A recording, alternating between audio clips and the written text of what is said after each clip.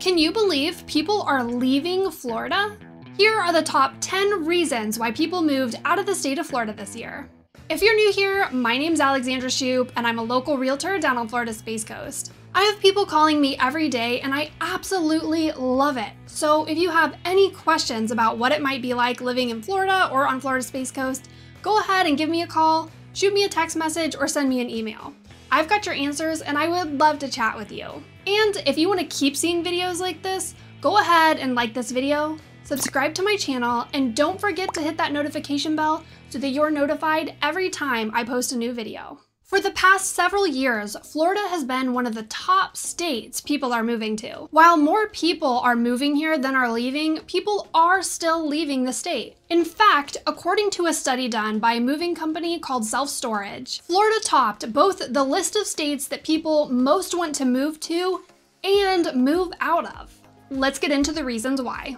Number one, unaffordability. If you're one of the folks that has left Florida this past year, this will not come as a surprise to you. Here in Florida, everything has gone up, including grocery prices, insurance costs, housing prices, and property taxes. According to Wallet Hub, both the cities Miami and Tampa take spots one and two on the list of cities with the biggest inflation problems. Many people are getting priced out of Florida and have decided to move to a more affordable state. Number two, politics. This is both a major reason why people move to the state of Florida and why they leave.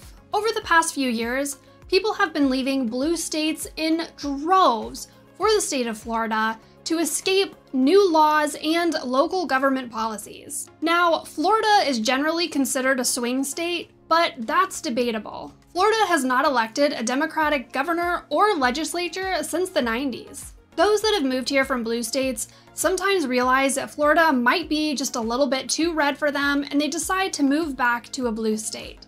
But they're not the only ones leaving. This year, Governor DeSantis passed some new laws and policies that negatively affect migrants, the LGBTQ community, and African Americans. Even some of DeSantis's biggest supporters were upset with a lot of the decisions he made this year and decided to leave the state of Florida. Number three, hurricanes. This is a big one. Everyone has some sort of bad weather, no matter where they live, whether it's earthquakes, snowstorms, or tornadoes. But people tend to get comfortable with what they're used to. Hurricanes can be really scary, especially to those who are not accustomed to them. And having to board up the house for a storm is such a pain. Some people decide that they don't want to deal with hurricanes anymore and leave the state of Florida for another state that doesn't have hurricanes. Number four, high insurance costs. Some people are finding that they can afford a home, but then they get priced out when home insurance comes into play. Florida experienced a homeowner's insurance crisis this year,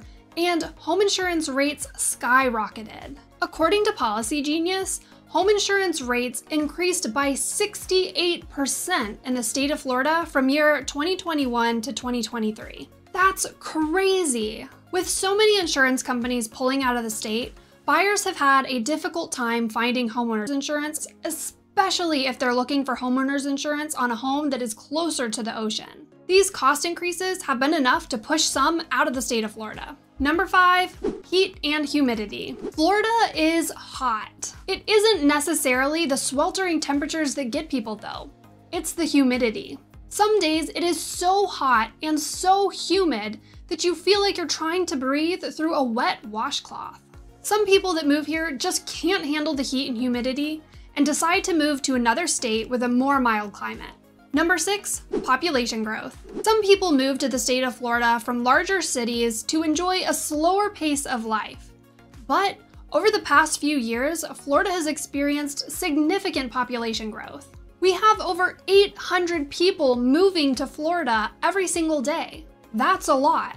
Population growth causes infrastructure issues, requires more police officers, more houses to be built, and more roadways to help with increasing traffic. While Florida does still have some sleepy beach towns, some people are unhappy with the population growth and have chosen to leave the state for a destination that is less popular. Number seven, Florida Man. We've all heard of Florida Man, and some of us have interacted with him. Due to Florida's year-round warm temperatures and mostly pleasant climate, Florida has a larger transient population than many of the colder northern places do. Florida Man can be spotted at the gas station, at your local park, and even at the grocery store. He's everywhere. He may even be your neighbor. Some people have become fed up with Florida Man shenanigans and have left the state. Number eight, home prices. While the housing market has began to cool in some cities, home prices continue to increase in many parts of Florida throughout 2023. In some places in Florida,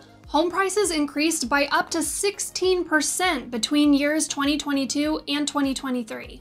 This, accompanied by rising home insurance costs, has priced many buyers out of the market. First time homebuyers that were previously renting, for example, are either moving to more affordable places in the state of Florida or they're leaving altogether. Number nine, remote work is over. Many people moved to the beautiful Sunshine State back in the pandemic days when remote work became increasingly popular. Well, now that we're transitioning back into more normal times, a lot of employers are requiring that their employees come back into the office and are canceling remote work. So, a lot of remote workers are leaving the state of Florida because they have to go back into the office again. And last but not least, number 10, tourism. Tourism is huge in Florida, and over 100 million visitors travel here each year. This is fantastic for local economies, but it comes with a cost. Tourists come with longer lines, higher prices, more traffic, and more trash left behind. Some folks never become accustomed to all the vacationers and the inconveniences that come along with them. These people have decided to leave the state of Florida for another state that has less vacationers visiting. If you found this video helpful, go ahead and hit that subscribe button for me. Thanks for watching. Bye!